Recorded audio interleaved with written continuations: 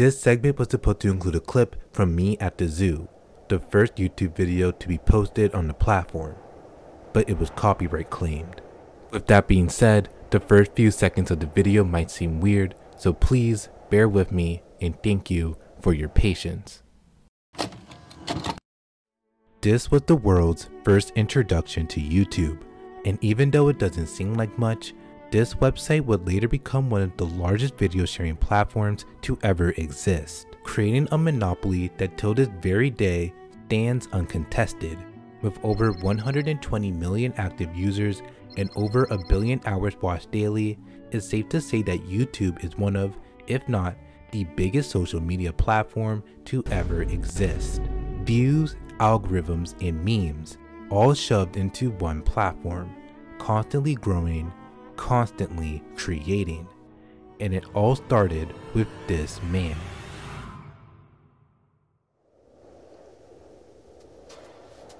This is Jawed Karim, and not only is he the first man to post a video on YouTube, but he is also one of his co-founders, creating the platform in 2005 with Chad Hurley and Steve Chen, with one simple idea being in mind from the beginning, broadcast yourself. Anyone could post anything they wanted to, and it wouldn't take long before the site blew up in popularity. Videos of young, passionate creators putting themselves out there for the entire world to see, all for a once in a lifetime chance to become viral. Then maybe you will ascend to greatness and reach heights that no one else could ever achieve. This is what YouTube meant for a lot of people a chance to put yourself on the stage and prove to everyone else that you're worth something. It was the dream job, the golden opportunity. Everyone wanted to become a YouTuber, and if you were good at it, then you would be set for life. And as the site grew, so did its creators, and it was only a matter of time before someone would be the first to reach 1 million subscribers. A goal that till this very day is the pinnacle of YouTube. It shows that you and your videos mean something, that all of your hard work and dedication wasn't for nothing and that you have finally made it to the top above everyone else. The only question is, who would be the first to do it?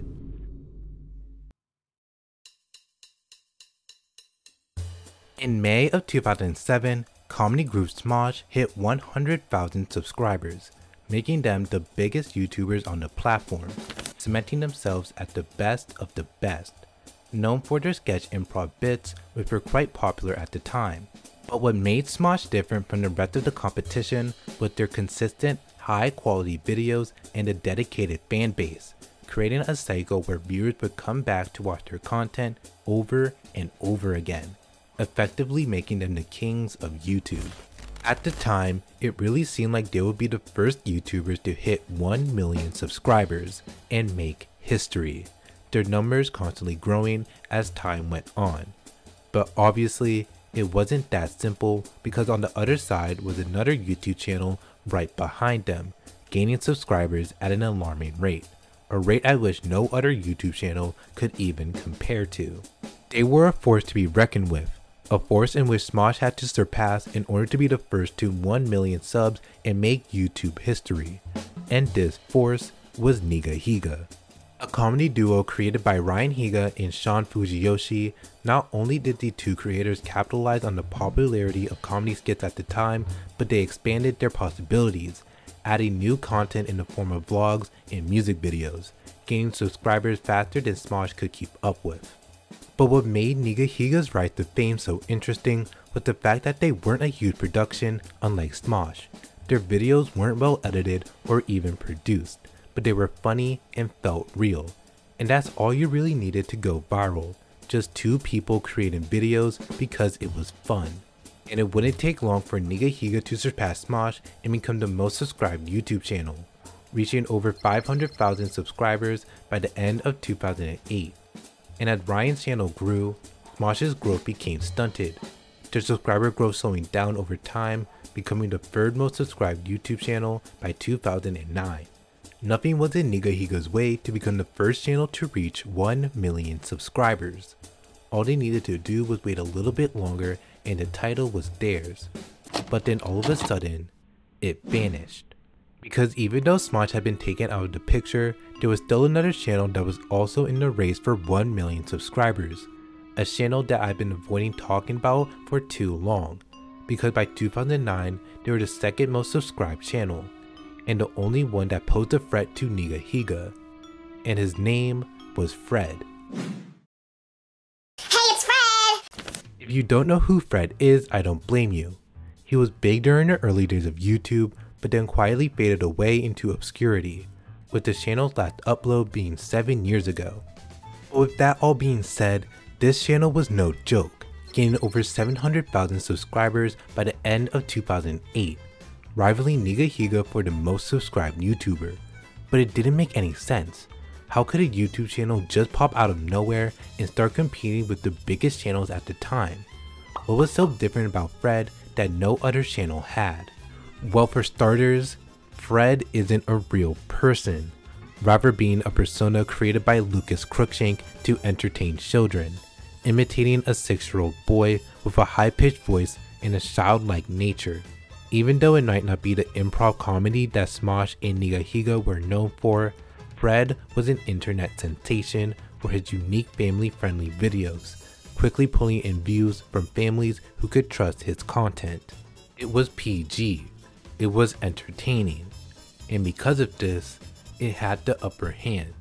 And by April of 2009, Fred surpassed Nigahiga and became the first YouTuber to reach 1 million subscribers. And this is where being a YouTuber gets interesting.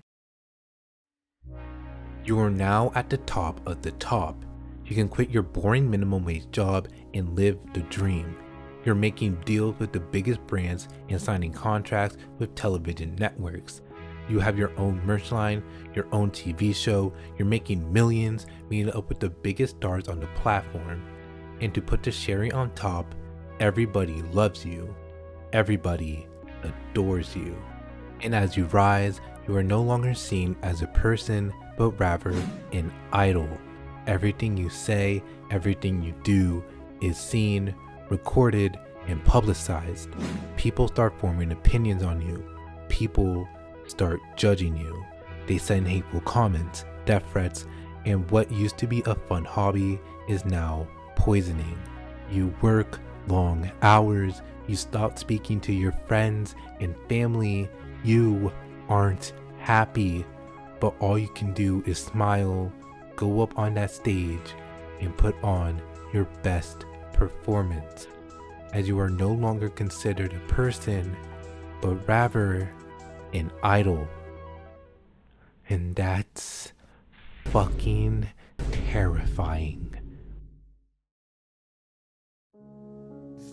I don't normally make videos like this, but YouTube has a huge problem right now. I feel like I've been putting this video off for a little bit too long. So let's just start off like this. I just keep seeing it every time I walk past here, thinking about the fact that it's now been nine months, I think, without a video. And why not talk about it, you know? Um, I mean, if you've read the title, which you probably have because you clicked on this video, I quit being a YouTuber.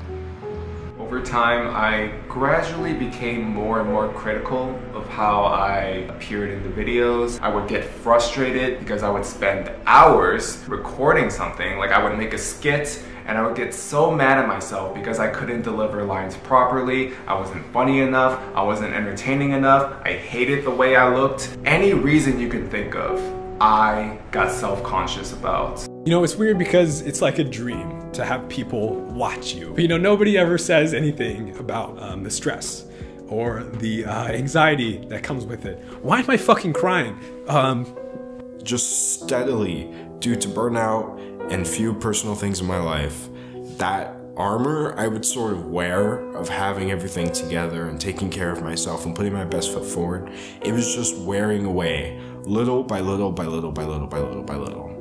But anyway, I'm getting a little off track. Essentially, to make this long story a little bit shorter, I was getting frustrated with the way YouTube had become. I don't want to act anymore like I'm this YouTuber from 2015. Like, I'm just not.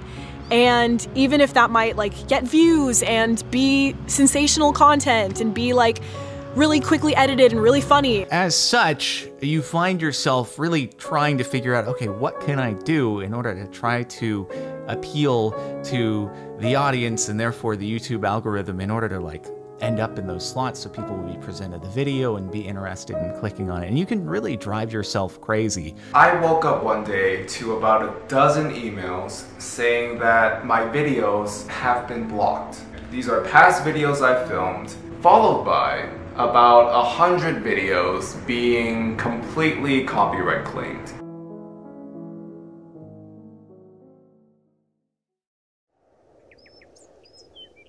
When I started my YouTube channel in 2021, I desperately wanted to become a YouTuber. I saw all these big channels making fun, entertaining videos, and I wanted to be just like them. But the more I tried to become successful on YouTube, the more I felt drained. And I know I'm not the only person that feels this way. In current year, it feels like you have to abide by an arbitrary set of rules, constantly being pressured by YouTube to make only certain types of content. And if you fail to meet these standards, it's best to just call it quits because no one is going to watch your channel. And as I see more and more of these channels quitting or being deleted because they don't meet these standards, all I'm left to wonder is how did it get this bad? How did YouTube evolve from a platform that was built on creativity, passion, and self expression to a platform that now censors those same principles? Well, it's all because of ads. In 2007, YouTube introduced the Partner Program, a way for YouTubers to make money through ads, allowing creators to make a living while doing what they love. At first, this seemed like a great idea but there was a catch in that nobody wanted to put their ads on YouTube. The problem was that anyone could post anything they wanted to, leading to a website filled with copyright infringements and no regulations. And with large media corporations threatening lawsuits, YouTube had to think of something quick, otherwise their entire business would start crumbling, and YouTube would no longer exist. So new rules and guidelines were introduced. That way, copyrighted material wouldn't be advertised by YouTube and the large media corporations could stay happy. But the thing is, corporations were still not happy. There were still videos that didn't meet the expectations of advertisers, some of which had millions of views, so YouTube had to make a decision. Either get rid of ads, effectively killing their business, or start delisting videos that didn't meet certain guidelines, killing thousands of channels in the process. And you could imagine what YouTube showed next as videos from some of the biggest creators started losing viewers. Huge channels that basically made YouTube with millions of subscribers were now being replaced with more ad-friendly channels. And this would later be known as the adpocalypse, a time where YouTube wasn't for people to express themselves, but rather for people who only wanted to gain the system. So when I see these big YouTubers quitting their dream job or not posting for months or even years, I understand. It's hard working on a platform that doesn't value your effort as a creator. It's hard being pressured to meet certain expectations that you didn't even ask for. And even though I might not have the biggest following, I definitely know what it feels like. All I can hope for is that more YouTubers create videos that they like rather than feeling burnt out creating content that they don't even enjoy. That's how I felt creating videos in 2021 and I wish no one else does this, starving themselves of creativity just for some views. I was sick and tired of everything to do with YouTube. And I've decided that after a, a pretty insightful poll that I posted, you know, I just I need to stop concerning myself with that. And it's important to mention that I can only speak for myself. You might be another creator watching this video or even someone who watches YouTube casually and you might disagree. But the way YouTube has evolved leaves room for some improvement. Somewhere along the way, we we lost our connection I want to finish off this year different. You gotta expand your wings. You gotta you gotta soar. And if this site keeps mistreating its creators, then the future of YouTube doesn't look too bright. But hey, only time can tell. I asked myself, what do I actually want to do? What kind of content do I actually want to create? Does that make sense? This means is from now on, I'm going to be making content that I want to put up. And it was just so surprising to me how much better I felt after making a video.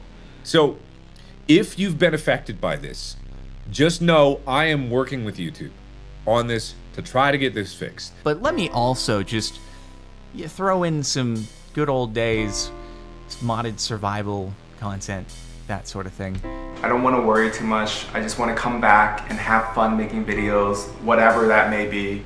She's gonna be put on the shelf, and we're gonna change this channel to a whole different vibe. A whole different vibe.